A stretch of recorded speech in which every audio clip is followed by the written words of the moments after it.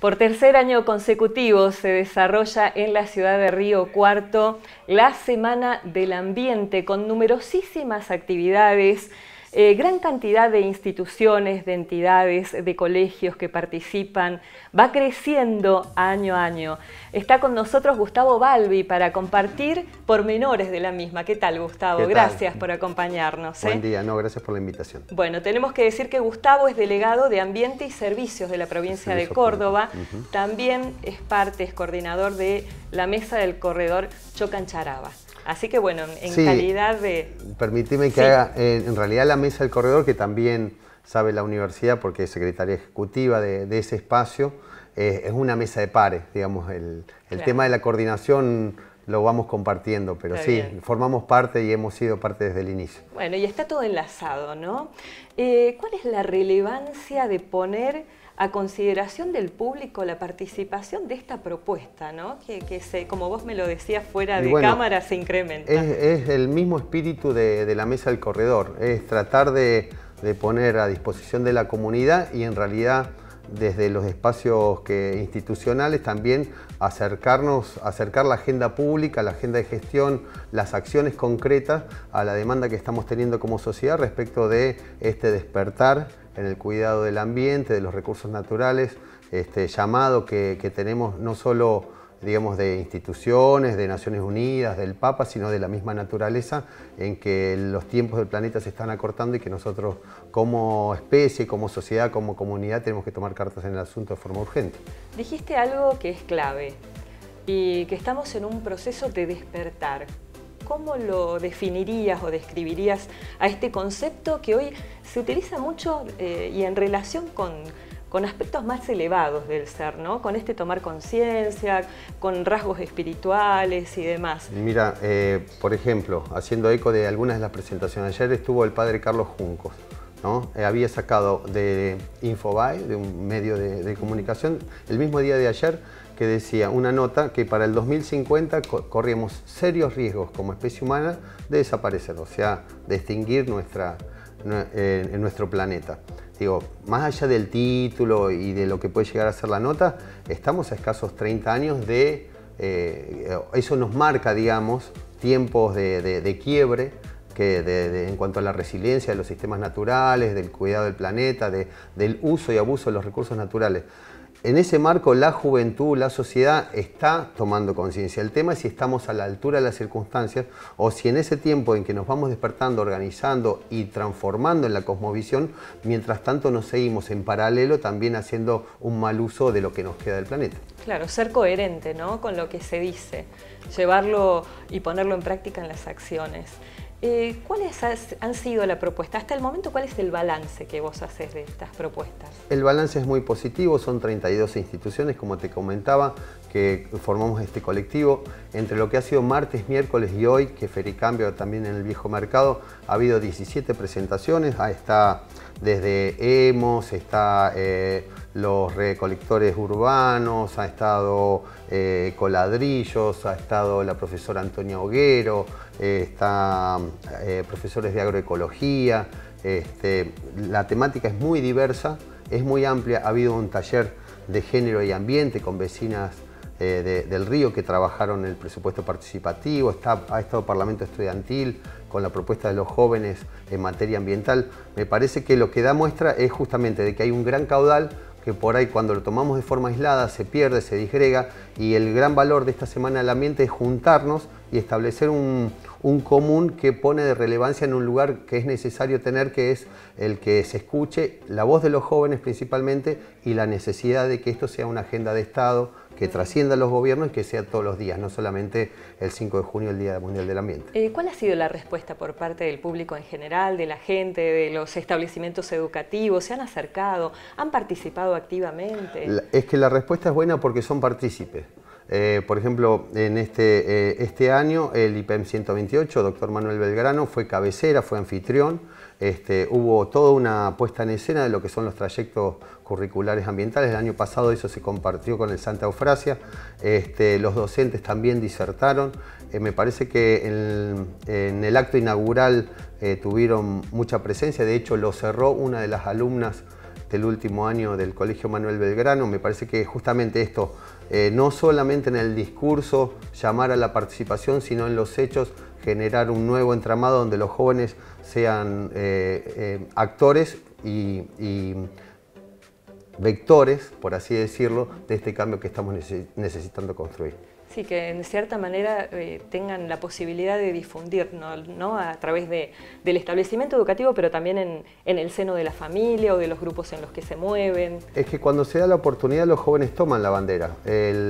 por ejemplo, en el Parlamento Estudiantil, que es una herramienta donde los colegios secundarios presentan proyectos al Consejo Deliberante después se ve la forma de instrumentarlos y una de esas herramientas es el presupuesto participativo, nos daban cuenta de que el 80% de los proyectos que se presentaron este año son proyectos vinculados al ambiente. Entonces los jóvenes tienen la agenda. Por ahí hay que estar a la altura de las circunstancias y ver cómo se canalizan o cómo justamente nosotros eh, damos cuenta de que nuestro oído está atento a lo que nos están eh, enviando como mensaje las nuevas generaciones y la sociedad. Para cuando esto cierre, después, en el día a día, en lo cotidiano, ¿qué tienen previsto ustedes? ¿Con qué acciones seguir adelante? Bueno, nosotros tenemos una agenda diaria, eh, lo comentaba ayer en otro medio, un pie en lo urgente y un pie en lo importante, ¿no? Este, en lo urgente es, el, consolidar el cuidado de nuestro río, el control de los áridos, trabajamos con residuos peligrosos, con policía ambiental, todo como institución, eh, como la institucionalidad del Ministerio de Agua Ambiente y Servicios Públicos del Gobierno de la Provincia de Córdoba, la delegación de Río Cuarto. Entre lo importante, consolidar el tema de la reserva, la mesa del corredor Chocancharaba, los estudios que se están haciendo sobre potencialidades de extracción de áridos en otras zonas para eh, sacarle presión a, lo que son las canteras en, el marco de la ciudad de Río Cuarto. Digo, tenemos una, una agenda que va, te vuelvo a repetir, del día a día, pero que también tiene Digo, estamos trabajando también eh, con la doctora Evangelina Natal, estamos haciendo las, eh, proyectando las audiencias públicas que tienen que ver con el plan de gestión de la línea eh, de la reserva del corredor Chocancharaba. Este, en definitiva, hay una agenda bastante nutrida que apunta a esto, decir, bueno, cómo podemos sostener la función pública, pero también cómo vamos avanzando para que no sea el día a día lo que nos desgaste y que no nos deje consolidado lo, que es la agenda realmente necesaria de, avanzar. ¿Y cómo hacer para que esto, que es lo público, tenga su correlato con lo privado? ¿no? Porque a veces los intereses de las empresas o de los propietarios privados no siempre eh, eh, se condice con las intenciones o las pretensiones de lo público. Lo que pasa es que el uso de los recursos naturales siempre tiene este, como... Esta dualidad. Claro, como me dice el profesor Giorgio de Prada, el activo y el pasivo, ¿no? Uno va, hace uso y sobre eso queda un daño ¿eh? o un pasivo y bueno, es obvio que por lo general el activo es privado y el pasivo es público. ¿Se entiende? O sea, yo voy, saco la arena, utilizo la arena, la uso en construcción y más, y el hueco le queda al río. Y después el río es de todos, ¿se entiende? De ahí esto de lo activo y lo pasivo y lo que es privado y lo que es público. Para eso está el rol inalienable del Estado.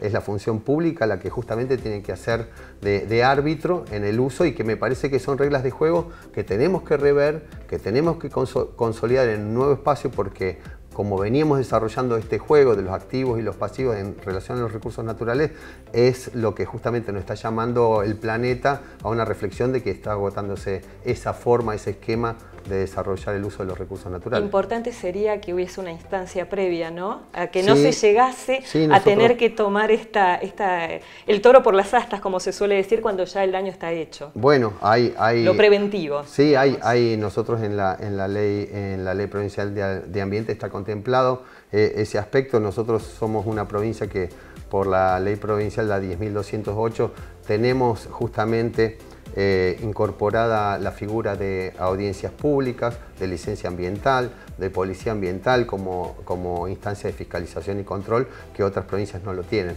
En ese marco eh, nosotros ya llevamos desarrolladas dos audiencias públicas, más de 700 audiencias públicas desarrolladas desde, desde el inicio de, la concreción de la ley. Este, y bueno, obviamente siempre está faltando, Siempre muchas veces uno dice, bueno, no, porque me parece en materia ambiental, pero me parece que las herramientas están y se van a ir mejorando en la medida que la participación y la concientización mejoren. Digo, no podemos tampoco exigir si no participamos o pretender de que las cosas cambien si no nos involucramos. En este sentido es este libre juego de interacción entre la gestión pública, las ONG, el tercer sector, el sector educativo, el sector privado. Ayer estuvo, estuvieron disertando unos hermosos talleres participativos que organizó el CESIS a la tarde con responsabilidad social empresaria. Me parece que este libre juego es lo que genera mayores grados de conciencia, puntos de encuentro y a partir de ahí reveremos las cosas que hay que ir eh, reviendo entre todos, como lo, hacemos, como lo hacemos en la mesa del corredor, poniendo a disposición la agenda pública para poder mejorar el cuidado de nuestro río. Vos mencionaste la provincia, tenemos una geografía tan rica, tan vasta, eh, tan diversa y bueno, y, y está recibiendo tanto daño de parte de no solamente contaminación ambiental de empresas, sino también el monocultivo está teniendo su injerencia, los incendios forestales, bueno, y podríamos seguir enumerando, ¿no? Eh, pero bueno, eh, está instalado el tema, el debate está al alcance, a la posibilidad del ciudadano común, del que transita la ciudad, de acercarse, por ejemplo, ¿con qué actividades hoy? Bueno, hoy tenemos Fericambio, hay paneles durante toda la mañana, este, son varios, principalmente basados en lo que es agricultura familiar, agroecología, buenas prácticas agrícolas. Este, continúa Fericambio durante la tarde y a partir de las seis y media de la tarde espectáculos musicales, también va a haber una pequeña disertación de Fundación Garraham y con un cierre que nosotros consideramos espectacular a las 20 horas con la banda agraria en el viejo mercado con entrada gratuita.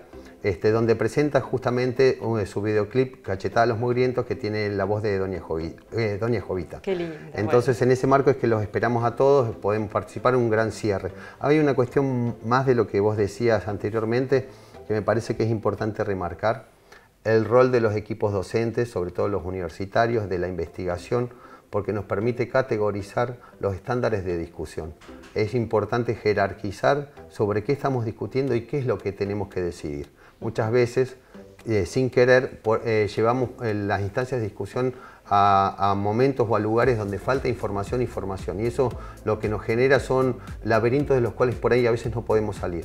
Es sumamente importante el aporte de la universidad y más de la Universidad Nacional de Río Cuarto como herramienta, como apéndice del Estado Nacional que nos permite jerarquizar esta discusión y en definitiva consolidar la agenda pública que es parte de todos. Y que en esas mesas de, diálogo también se sienten aquellos poderosos que tienen en sus manos eh, justamente los destinos de gran parte de esta geografía a la que hacemos referencia. ¿no? Sí, es, que, es que también es que en la medida que se sienta la, la sociedad, se sientan las instituciones, se sienta el gobierno, se terminan sentando todos porque encontramos un círculo virtuoso que es el gana-gana. Muchísimas gracias, Gustavo. Gracias por tu presencia aquí hoy. por la invitación. Un gusto.